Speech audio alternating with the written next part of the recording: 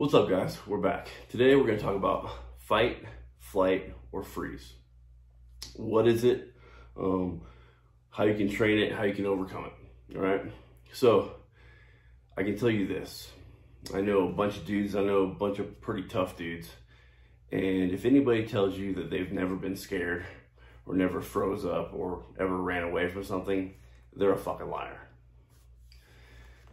I can also tell you this that while I have done all those things in different aspects, I have never been scared in a firefight. Never. I don't know why.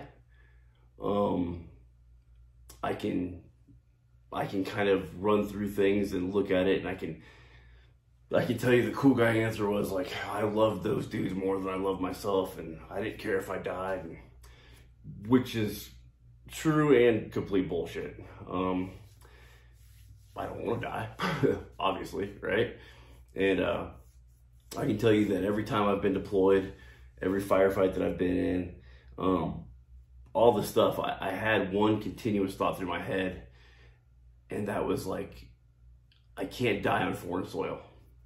For whatever reason, I don't think the powers that be, whoever that is, would let me die on foreign soil. So far, it's raining true. Sounds stupid, probably is pretty stupid, but again, so far it's raining true. So, fight, flight, or freeze, what is it? It is basically our lizard brain from a long time ago. Evolution brought us up to here. It is preserving life. Um, happens all the time in nature. You're driving down the road and a deer jumps out and just stares at you all stupid like it's one of those things that kids do. You know, they pull the covers up over the head. If they can't see me, you know, if I can't see them, they can't see me. Um, also, you know, squirrels, they run away from you. But if you back a squirrel up in the corner, that little son bitch is going to bite your ass. Guaranteed, right? The human body, evolution, the human body is all about self-preservation. Um, for example, if you ever get hypothermia, frostbite, anything like that, what's the first thing, or not the first thing, but what's one of the things that happens? The human body takes the blood from the extremities and brings it up to the core, right? Why is that? Because you don't need hands and feet to live. Simple answer. Your brain knows that, your body knows that, and it doesn't care. It's going to be like, hey, I'll sacrifice a hand, I'll sacrifice a foot, as long as I can save the brain, the heart, the lungs. Um, another thing, over evolutionary, have you ever been scared um, of a, an actual threat, threat or a perceived threat? What do you do? Right? You do that. The flinch startle response. If you want to learn literally all about that, Tony Blauer's the guy to go to. He developed the spear system. Um, basically, you know, you take the flinch startle response and you weaponize it. Um, but what, what are you doing? If you go around a corner and your wife you're a first sergeant if you're watching, remember what happened? Um, they jump out and they, boo, right? What are you gonna do? You're gonna flinch, and what are you doing right here? You're saving this, because this is very important. This is unbelievably important to your body, and it knows it. So you go like this, and you're scared, and you're protecting the most valuable part. Um, some people, um, when you train through it and when you get indoctrinated to what you do, um, as my, my first sergeant found out at one point in time, um, you can jump out and scare somebody. And the first thing they do, instead of going like this, they go like that, right? You know, I was walking in and we had a two hour late start. Nobody called me for some reason. And I'm walking in with my uniform over my shoulder, do do do do do. Power was out. First sergeant jumps out at me. I didn't mean to. Um, I, he, I saw, saw him on the ground, scared as shit because I was I was a staff sergeant in E6 at the time. I just punched my first sergeant in the face. My bad. But what happened? What happened was over the course of time, my body had uh, been indoctrinated to stress. It's stress inoculated, stress inoculation, and my body's response at that point in time and that mindset was not to be scared, not to flinch, but to react. Right?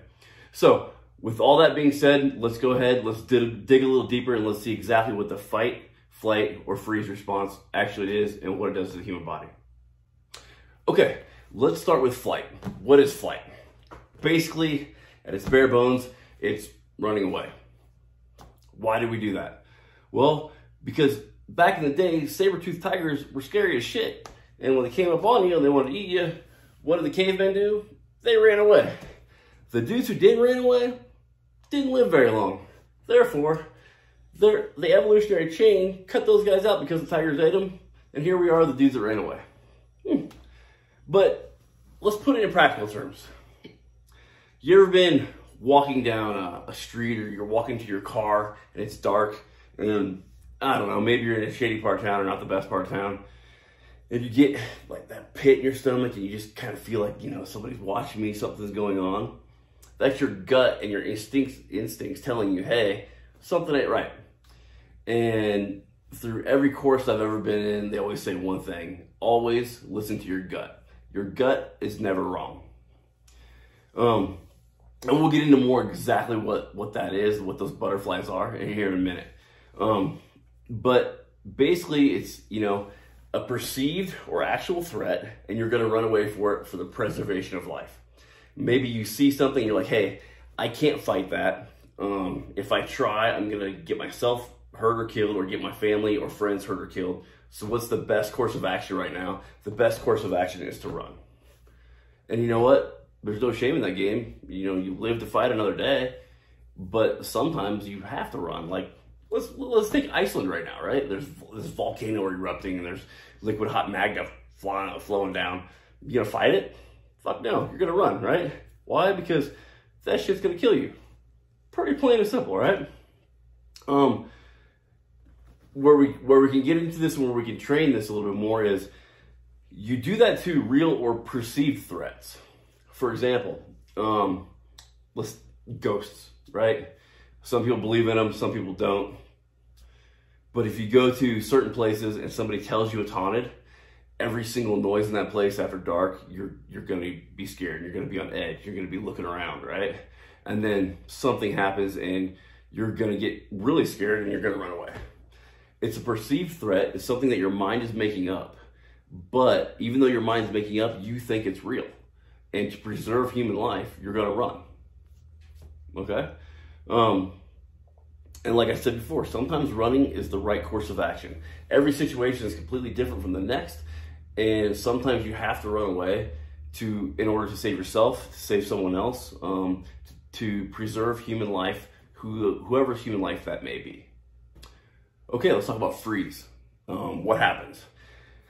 A situation occurs and you basically freeze up right? It's exactly what it's saying. You cannot make a judgment call. You cannot make a decision. You can't run. You can't do anything. You just freeze, right? Um, unfortunately, we see this a lot um, in active shooter situations.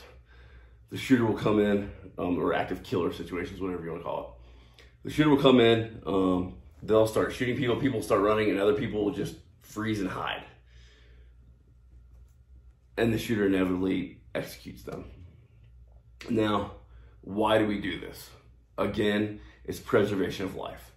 Back to the deer. You know, you're driving the deer, looks at you at your car, and just stares at you because somewhere, somehow, the deer and us, we think that if I don't move, they won't see me, they'll move on, right? Digging a little bit deeper in that is it's usually because there's so much stress occurring, whatever that stress may be. There's so much occurring, your brain cannot process that because you have not trained that, right? Um, you see it in traffic accidents. You roll up on a traffic accident, you know, there's cars everywhere, two people are dead, whatever. Somebody's on the phone with 911 and 911 is asking them, you know, what's your location? Do we need to send an ambulance? Blah, blah, blah, blah, blah. And the person's just sitting there. I don't know where we're at. I don't, oh my God, oh my God, you gotta help, help, help. But they don't know how to give out the right information. Because in their, they've never been inoculated to that type of stress, right? Um, you can see it on the battlefield when a firefight, firefight's going on and you have a, a lower enlisted or like a private on the radio, they're not giving out the right information to get help to come to you. You also see that um, when you have like a rookie cop. A rookie cop, you go on scene, whatever that scene may be. Maybe it's, it's car wreck. There's a seven car pile up. There's you know people flying everywhere. That rookie cop just grabs the radio, doesn't know what to say. Right? Is it their fault? Not necessarily. They've never been trained through that. They've never seen that before because they've never seen that before. They don't know what to do. Um, but you get that cop that's been on the force for 5, 10, 15 years. They roll up on the scene. The first thing they do is they grab their mic and they call out everything they need. They call out how many cars, how many tow trucks, how many ambulances, you know, they call out everything they need. Um, and why is that? Just because they've seen it, they've trained it, they know what to do. Um, in combat, there was one time where our platoon was, um, we were staying in an old school building and basically that was our sector, just our platoon. And then we had, I think it was a squad, maybe a whole platoon of MPs for some unknown reason. They were hanging out with us and um, we got attacked right before dawn uh, when the French Indians attack, if you know what I mean. And what happened was they hit us with like I think it was seven RPGs all at the same time, and our school was pretty little. And um, at the time, this was in 03, 03, they the supplies were very limited, so we didn't have like sandbag defilade on the roof or anything. So it was it was very chaotic. My point being is when all this went down and people were returning fire and doing this and doing that, there was people that were hiding under tables there was people that were diving under Humvees because because they were scared because they didn't know what to do. And that's what your body's going to do if you've never been in that situation or never stress inoculated to anything like that. Um, BJJ, you get into a fight, all of a sudden, dude starts choking you. You don't know what to do. What you freak out because you just start, you know, clawing. You freak out because you don't know what to do. And how do we get by that? It's very easy. You just train. You look at every situation possible. You try to train every situation possible. Um, you obviously can't train every situation, but you can train all the major situations and play those mental movies in your head, like we talked about, and you can train your mind. And if you train your mind enough, your body will react. Okay, let's talk about fight fight is something that is completely unnatural. The reason why is because it does not preserve life. It is the last choice in your brain's processes to do. You can look at nature. What happens in nature, you know? It, the first thing the animal might do is freeze, then they might run. The last thing the animal is going to do is want to fight you. Um, they're going to want to get away from you. You know, the old adage of they're more scared of you than you are of them it, it, it kind of holds true. The last thing they're going to want to do is fight you. Um, and that same thing, when is it natural? Well, have you ever got between a bear and a cub? Like, that's pretty natural. Any motherly instinct that will take over, take precedence over anything else.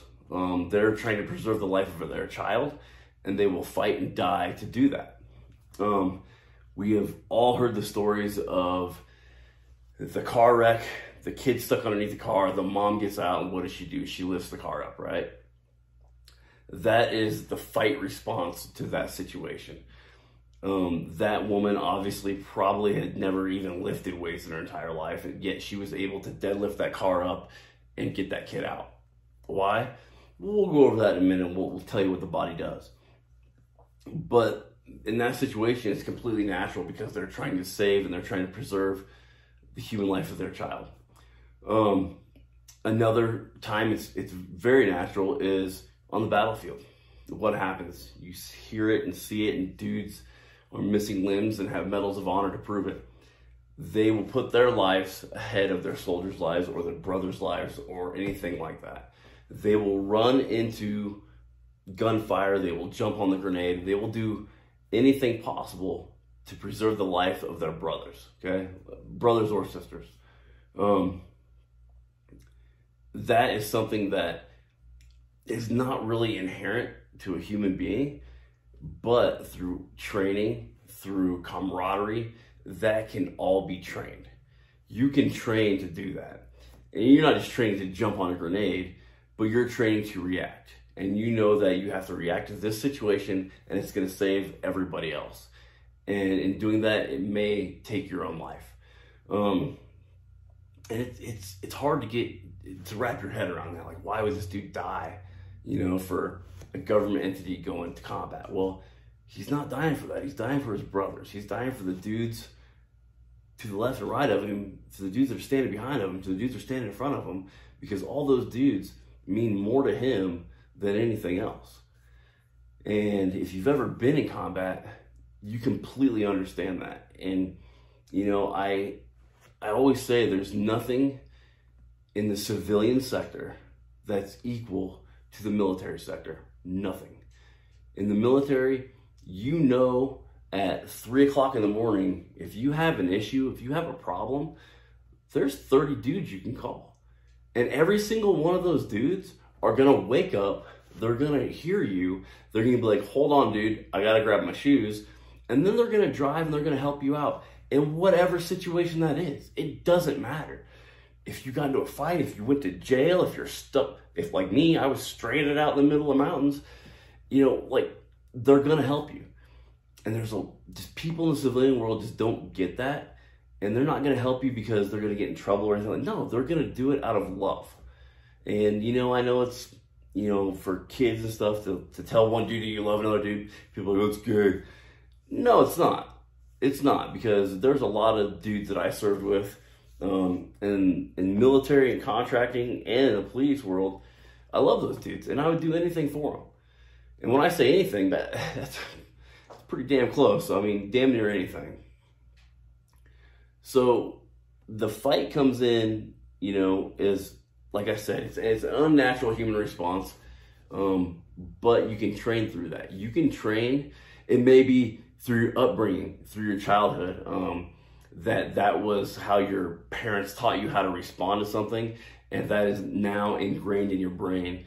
Or it could be through something else. Um, for I, you know, I went to college, but I was never in a fraternity. Um, from what I understand, you know, they're a pretty close brethren, right? And they, you know, if you see your friend getting picked on or getting bullied, what are you gonna do? Well, you're probably gonna fight. You know, it's it's it's something that you can train through, that you can train to do, and it's something that if and when necessary, you have to do it. Okay. Now, let's get into the kind of meat and potatoes of this. What happens to the human body, right? So, you're you you got your kid, you're walking down that alley, sketchy neighborhood, whatever, you're driving through it, you kind of start feeling that pit and those butterflies in your stomach, right? Well, what is it? It's a it's a threat, perceived or otherwise, by the brain, right? when the brain and the body says, oh shit, something's gonna happen, and your lizard brain kicks in, right? That the part of your brain that, that has been developed over the evolutionary period kicks in. Um, one of the first things it does is it dumps adrenaline and cortisol, right? Um, everybody's heard of adrenaline, right? That's what that's what makes you strong, fast, and you can fight, right? Another thing that happens is your blood pressure goes up, okay? Why is that? Why does it start going up? Because you need blood, and you need oxygen to your muscles in, in order to fight or run, right? Um, your body starts converting um, glycogen to glucose so that you can have energy. Um, if you can have energy either, again, fight or run. You need energy for both. And if you've ever seen somebody scared out of their mind, look at a rabbit, right? You take a rabbit and you're like, oh my God, that dog can outrun that rabbit in any day of life. But when that rabbit's scared and that rabbit's running for its life, it can outrun that dog pretty easily, right? Um, what else happens? Uh, your breathing. Your breathing starts increasing. You start breathing faster. Um, again, to get more oxygen in. Your muscles, right? Because of the blood pressure and breathing, your the, the blood flows through your muscles and your muscles start to tense up. Now, I'm not talking like you're flexing, but they tense up in order to prepare for battle, all right? your digestion slows to almost a halt, okay? And that's where the butterfly effect comes from. Your body does this subconsciously, you don't know what's happening, but all of a sudden the blood flow really kind of stops going to the digestive area and telling your body says, hey, we don't need to poop or pee right now. We just need to chill out because we got some other shit going on. And that right there causes your stomach to kind of turn a little bit and you get those butterflies in your stomach. You get that gut feeling, right? What else happens? Your pupils, they dilate, right? Um, your vision narrows and we get what we like to call tunnel vision. Why is that? Because your body wants to focus on the threat. If this is a threat, all this stuff and all this stuff, that shit doesn't matter right now. This is what matters, and this is what we're gonna deal with. Um, if you've ever watched um, dudes that shoot and they come back and they do this, okay, that's to break out of your tunnel vision. That's what it was originated for. It's gotten retarded right now, but it's to break out of the tunnel vision so you, you can tell your mind, hey, we're done with that. We need to start looking around to see what else is going on. All right. Um, what else, what else happens? You get what we commonly refer to as auditory exclusion or hearing loss. Um, if you've ever talked to a dude in combat, they they'll tell you like, I didn't really hear much. You know, I, I was engaging the enemy, I was doing this, I was doing that, but I don't really hear or remember, you know, what happened over there. And if you got, you know, big guns going off, explosions going off, but your mind is so focused on going in that house or whatever, that's what happens. Your body automatically does it. It says, hey, you know what? We don't need these things right now. We need to focus on this and we need to handle this first. And that's what happens. Um, one of the last things your body does is you start sweating. Um, if you don't know, the reason why you do sweat is to keep your body cool, right? You sweat, the air blows on it, keeps your body cool. You don't want to overheat. Again, your body always auto regulates. So that's what happens inside your body without you even knowing it. Subconsciously happens because of a threat, perceived or otherwise. Now, remember, your body does all this to help you, to preserve your life. And you might be thinking, well, what if I'm in that car wreck? Um, I'm whatever, fell off a bridge, I'm going in the water, trapped in my car, and all of a sudden I freeze. Well, isn't my body's not helping me? No, in that situation it's not. But in that situation, what you, what else you have is you have an overwhelming preservation of your own life, not only subconsciously but consciously, right? You can see that your car's in the water. You can see the water level rising, and you think, shit, I gotta get out. Now, if you've trained this, you know you can roll down your windows, you can create equal water pressure, you can open your doors, you can swim out. If you've trained that. If you haven't, what do you do? You try to push on the door, try pushing a car door against a bunch of water, it ain't gonna happen very well. So what else you do? You're gonna try to break out the window. Now, with all your adrenaline dump and everything like that, it's very possible you might be able to break out the window. Either you kick it, punch it, whatever, right? In that situation, again, your body's helping you. It's giving you all the adrenaline, all the energy, everything you need to hit that window, to break it out, to climb your ass out of the car and to swim away, right? Now, like I've been talking, you can train all of this, okay? You can train this to be a light switch, right? Um, if you look at like a, a UFC fighter, right? Those dudes are calm, cool, and collective, usually, in the back room. And then maybe once that cage locks or once, you know, Bruce Buffer calls their name, it flips a switch and now they're in fight mode, right? Um, for me, when I was in the military on my last deployment, in my Humvee, we played a certain song every time we rolled out the gate. Um, and every time we rolled out the gate, that was my light switch. You know, we played that song and my light and my, everything just went, it just clicked. Hey, it's go time. It's time to work it's not time to worry about anything else. No bills, no wife, no kids, no nothing. Like all that stuff is over there. Right now, it's time to work. And you can train through that. Um, like I said, any stress inoculation training, right? Whether it's fighting, grappling, um, you know, shooting's a big thing. You can do a lot of stress training with shooting. Um, anything that you do that's going to cause your heart rate to go up, cause you to sweat, cause you to think and make decisions and you might screw up those decisions but that's okay because this is training and training is where you screw things up it's okay to mess up in training it's not okay to mess up in real life because that's going to cost people's lives in training mess up okay? Because that's where you're going to learn. If you mess up something in training and somebody's there, a good coach is there to say, hey, you messed this up, what should you have done? And you can walk through that process, and the next time you can do it better. And you can do it better and better and better and better. And if you've ever been wrestling or boxing or in Brazilian Jiu Jitsu or anything like that, you know that the first while you're going to get your ass kicked. That's all there is to it. but through training, through coaching, through that process of stress inoculation, you can learn and you can be better. Um, one quote that I will always remember, and I, I looked it up, and I honestly I can't tell you who said this, but it's a quote that says, "For those that I love, I will do great and terrible things." I want you to think about that. I want you to think, go through all these situations in your head, play those mental movies. If somebody breaks into your house at noon on a Saturday, what are you to do? Are you to be ready? Are you to be prepared? Are you to know what to do? Have you even thought about it? At the end of the day, that's what you got to ask yourself. You got to ask these hard truths. If somebody breaks into my house and has a gun, has a knife, or simply has bare hands and wants to fight, are you to be able to get through it? So at the end of the day, you have to ask yourself, are you an asset or are you a liability?